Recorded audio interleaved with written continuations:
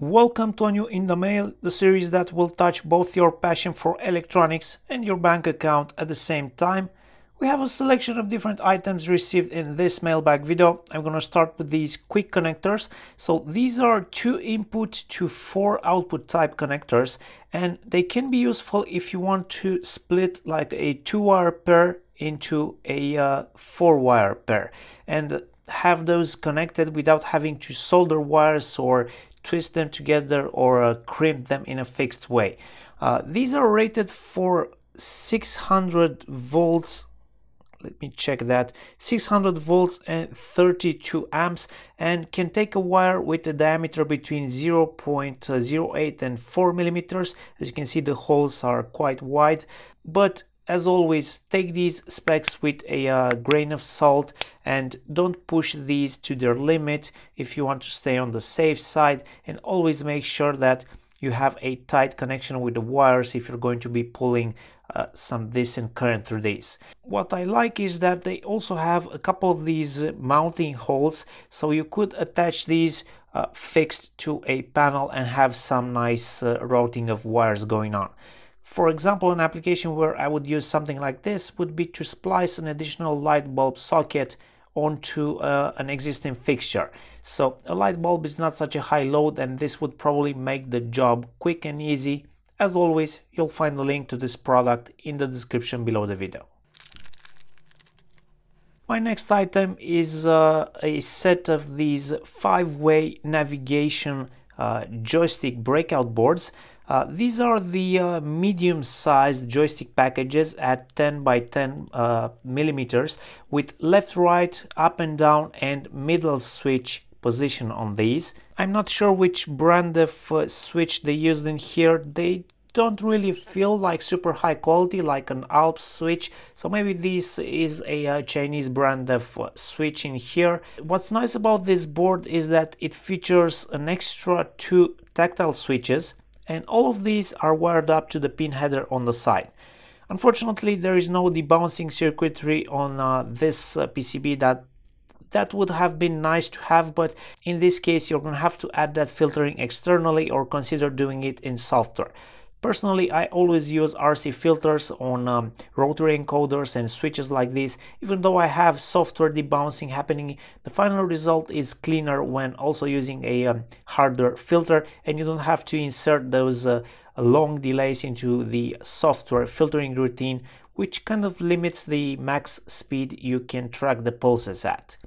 They also included this small plastic cap for uh, the joysticks and I like having this kind of breakout board because it allows you to quickly hook up an input method to a board you are working with.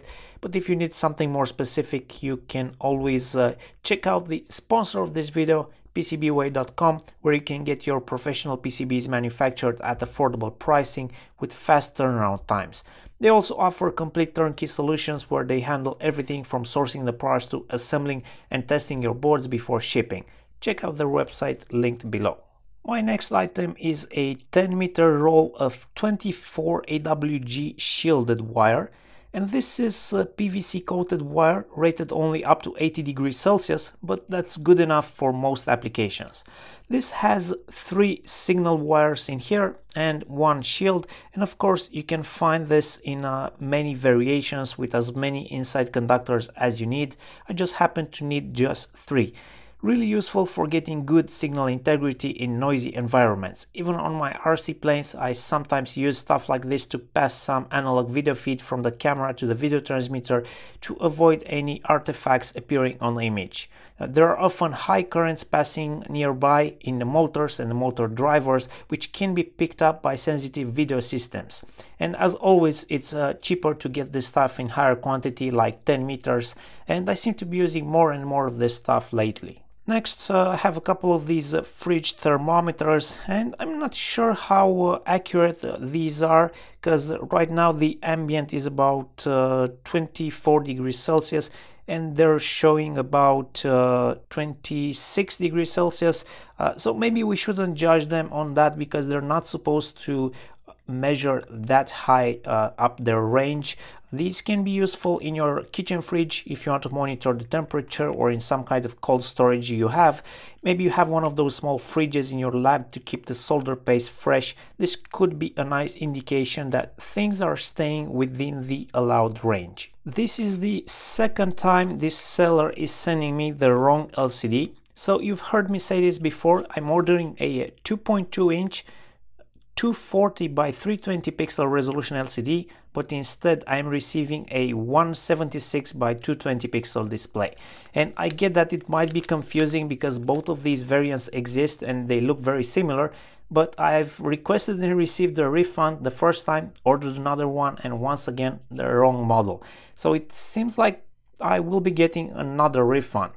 Luckily, I did order the same LCD from another couple of sellers uh, just to be sure after the first uh, attempt. So uh, I already received one of the good ones and waiting for the second good one to arrive. For my next item, I once again have that story where I don't remember exactly where I wanted to use it because it took four months for delivery.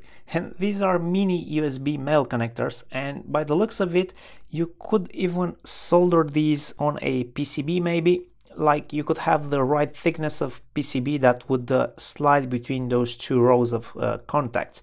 I'm thinking I probably have some older piece of equipment in here that uses one of these mini USB connectors and maybe I wanted to make like a custom cable or something like that. In any case, you'll find the link to these in the description below if you're interested in uh, some old technology. Next, I have a bunch of adhesive products from uh, this company. Uh, you've seen this before on the channel. I'm not gonna try to pronounce their name anymore because it seems impossible. We could call this just the K company. That would be fine for me. So I'll probably do a separate video to test these because I'm primarily interested in using them on electronics. But uh, let me quickly mention them. So I have the K1668 or the uh, so-called yellow glue and this is rated for electronics used by the manufacturer. They claim fast curing time, electrical insulation, no corrosion and flame retardant after it's cured. Next I have the K200R or the red glue. This is also rated for electronics use, but they claim this is best for mechanically securing screws. So I'm not sure if this is something like Loctite for screws, which is very liquid-like, or it's more like Celastic that you would uh, use to uh, hold uh, a capacitor to a board so it's not floating uh, but we'll test this in a separate video it could also be just uh, silicon based so you could maybe uh, secure trim pots after adjusting them with this we'll see this uh, how this behaves in a separate test the K704, this is a silicon sealant with a working temperature of minus 50 to plus 200 degrees Celsius and they recommend this for sealing against moisture or arc prevention inside electrical equipment. And then there is the uh, K586 or uh, black glue. This is also silicon based from what I could uh, translate and is recommended as gasket replacements for mechanical engine parts or, or for mechanically securing stuff, including for electronics. And you'll find a link for all of these in the description below. And like I said, I'll do a separate video on these uh, you might wait until you see that video before ordering any of these or you could just uh, go ahead and order them because it's going to take a long time to, for them to be delivered anyway. Next I have a couple of uh, test leads and uh, this one for example has a uh, BNC connector on one end and two banana connectors at the uh, other end. This would be uh, useful for connecting your oscilloscope to a power supply or a similar situation. Uh, these wires feel pretty soft, but the rest of the cable is not as soft. Overall, I think this is PVC insulation, not silicone. Uh, the banana connectors are not super high quality, uh, and you wouldn't expect it for something you get for cheap from AliExpress, but I can say they are certainly of decent quality. They are the type that make a very tight fit inside the sockets and there are no moving parts in here uh, that could uh, get um, wear and then uh, you would end up with a loose connection. So I think these will get the job done uh, very nicely. I also got myself one of these tweezer type test leads So you get the banana connectors on one end and uh, these uh, would go into your multimeter and the tweezer type connection at the other end. Uh, this is useful for measuring small SMD components and I want to run a test on these using a cheap multimeter on the continuity tester. This is not latched so it, it would be a good indication of the quality of the probe contacts because when you have a, a, good probe with nice gold plating it will result in less interruptions in the continuity tester while if you have a bad connection well there will be a lot of interruptions so as a control uh, we'll use these probe master probes which are super high quality. So there, there are some interruptions, but overall this is not a very scratchy uh, sound coming from the buzzer. So this means the, the high quality in these probes shows up and they provide a decent connection. Now let's connect the new tweezer probes.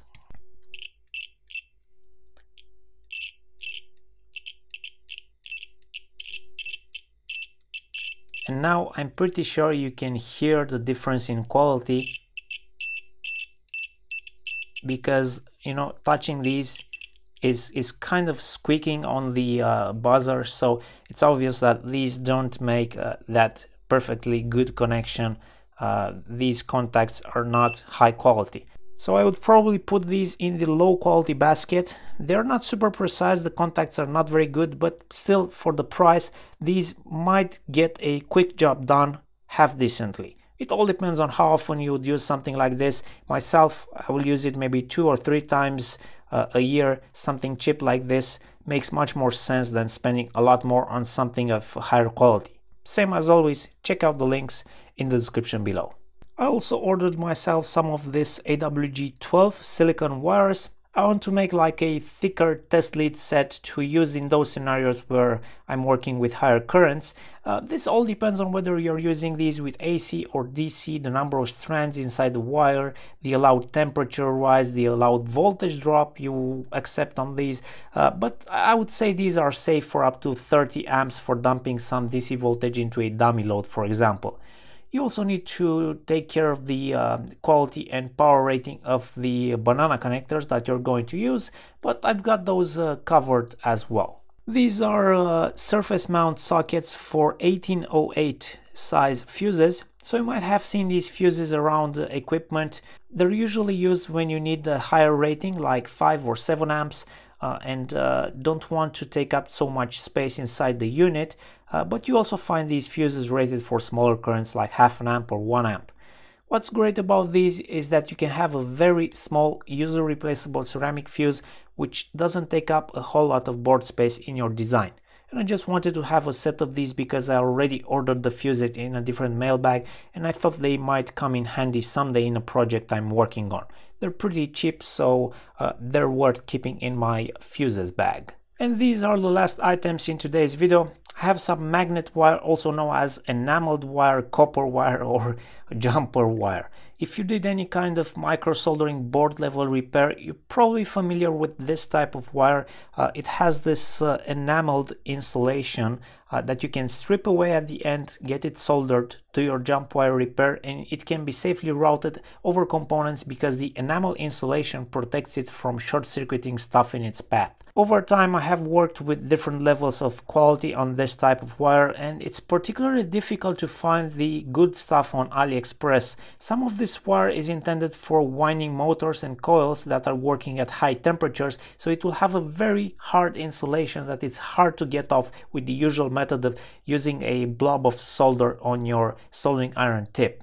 I can tell you that this red colored one that I have is somewhat easy to strip away the insulation and this is uh, 0.2 millimeters thick. This is the size I would recommend if you're doing repairs on small stuff like in the range of uh, 0402 passives. I also got these uh, uh, smaller ones. These are 0.1 millimeter thick. I haven't tested these so far. They're a bit too thin for the kinds of boards I am working on, but I guess it might make sense for those repairing smartphone motherboards, for example, where space is very limited and the component pads are even smaller. Same as always, you'll find links for all of these items in the description below. Check them out and let me know in the comments if you found anything interesting to order in this video. Thank you for watching and don't forget to hit that like button to show your support. See you next time.